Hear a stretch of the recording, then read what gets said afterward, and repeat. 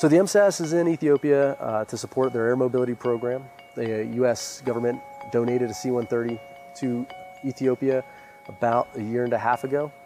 Uh, since that time, it's uh, been maintained exclusively by Ethiopians, and the uh, Mobility Support Advisory Squadron's been out here four or five times uh, since then to help them conduct maintenance on it, plus their other mobility uh, aircraft. It sat for a little while, and we need to help the Ethiopians figure out how to get it airborne so they can support peacekeeping operations in, in the region here.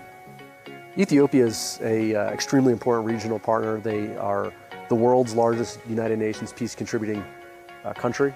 They're proud people, extremely friendly. We've had great relationships here. We wanted the Ethiopian Air Force to taxi the aircraft that we provided. We wanted to do a high-speed taxi down the runway. Yeah, it was extremely rewarding to, to, to take the runway, taxi down that thing, 70, 80, 90 knots, um, and then we taxi back in and we see the ground crew who's been working on that aircraft for a year and a half that hasn't seen it actually taxi itself, uh, just cheering and celebrating and, you know, amongst themselves. It's extremely rewarding to see how, how satisfied they were. That's what makes it all, makes it fun.